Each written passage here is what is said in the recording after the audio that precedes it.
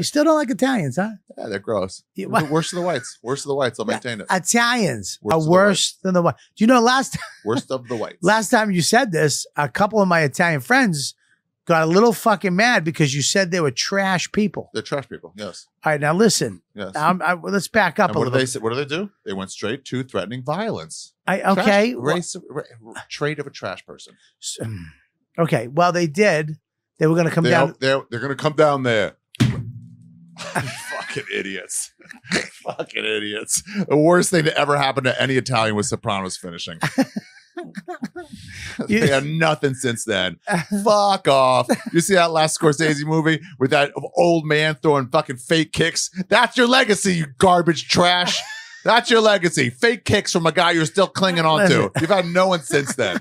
Ugh, idiots. So they have nobody in the. Nobody. Your last great thing was pizza. Fuck off.